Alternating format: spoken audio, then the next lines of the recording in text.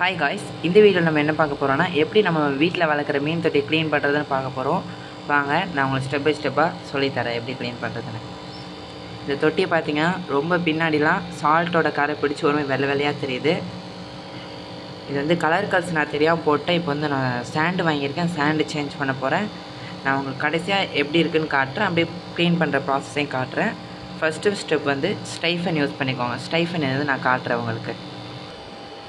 இதுதாங்க ஸ்டைஃபன் ஃபிஷ்ஷாக்கு நம்ம அந்த டேங்க்கில் இருக்க வேஸ்ட்டெல்லாம் இதை வச்சு எடுத்துடலாம். நான் உங்களுக்கு எப்படி எடுக்குதுன்னு காட்டுறேன்.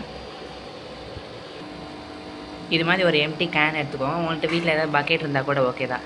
அதுவே கரெக்டாக தான் இருக்கும். நான் இதுமாதிரி ஒரு எம்டி கேன் எடுத்துக்கிறேன்.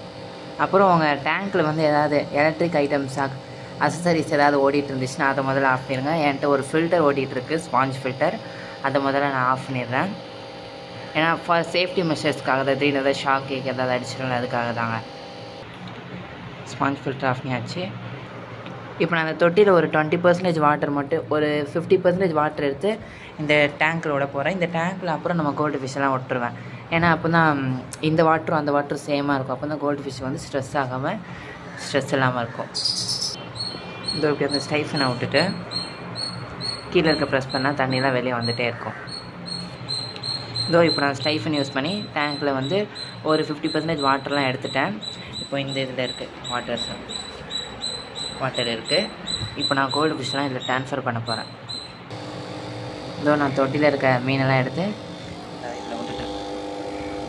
தொட்டியில் இருக்க மீனெலாம் எடுத்து தொட்டியில் இருக்க மீனெலாம் எடுத்து இதில் விட்டுட்டேன். இப்போ தொட்டி பார்க்க ஒரு மாதிரி தான் இருக்கும். ஏன்னா லைட்டு இருந்தால் தான் தொட்டிக்கு அழகே. லைட்டு நான் எடுத்ததுனால உங்களுக்கு ஒரு மாதிரி தான் இருக்கும். பரவாயில்ல. நான் காட்டுறேன்.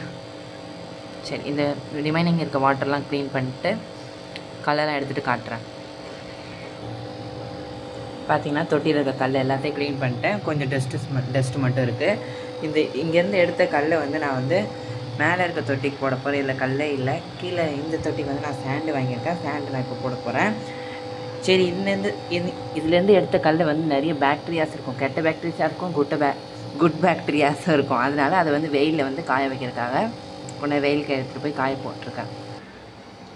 இப்படி வெயிலில் போடும்போது நம்ம கல்லில் இருக்க ஜேர்ம்ஸ் பேக்டீரியாஸ் எல்லாம் செத்து போயிடும் நல்லா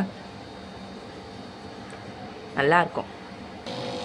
இதுமாதிரி ஒரு நார் எடுத்துக்கோங்க. உங்களுக்கு அக்வாரியம் டேங்க் க்ளீன் பண்ணுறதுக்குனே புதுசாக வாங்கி வச்சுக்கோங்க. அது பெட்டராக இருக்கும் நான் சொல்கிறேன்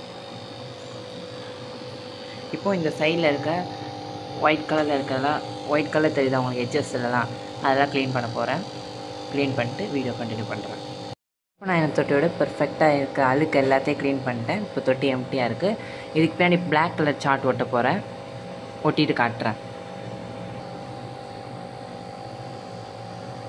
இதோ நான் பிளாக் கலர் சார்ட் இப்படி பின்னாடி வச்சுருக்கவே வச்சுக்கோங்க. நான் உங்களுக்கு இது எப்படி ரிசல்ட் இருக்குன்னு நான் கடைசியாக காட்டுறேன் பாருங்கள் சூப்பராக இருக்கும் பிளாக் கலர் சார்ட் வச்சிங்கன்னா. இப்போ பார்த்தீங்கன்னா நம்ம சாண்ட் ஆட் பண்ணிட்டோம். சாண்ட் அழகாக இருக்கா? சாண்ட் ஆட் பண்ணிட்டோம். இன்னொரு இன்ஃபர்மேஷன் தண்ணி ஊற்றும் போது ஒரு கவரை உள்ளே போட்டுட்டு அது மேலே ஊற்றுங்க நீங்கள் போட்ட சாண்டெல்லாம் கலையாமல் இருக்கும். தண்ணி ஃபில் பண்ணியாச்சு. இப்போ பாருங்கள் லைட் போட்டேன் இப்போ லைட்டாக க்ளவுடினஸ்ஸாக தெரியும். ஃபில்ட்ரு போட்டால் கரெக்டாகிடும் ஃபில்ட்ரை வந்து தள்ளிவிட்டு போடலாம். அவ்வளோதாங்க தொட்டி ரெடிங்க சூப்பராக மண்ணெல்லாம் போட்டு ரெடி பண்ணியாச்சு. ஒரு ஃபிஃப்டீன் மினிட்ஸ் கழித்து மீனை உள்ளே விட்டு காட்டுறேன்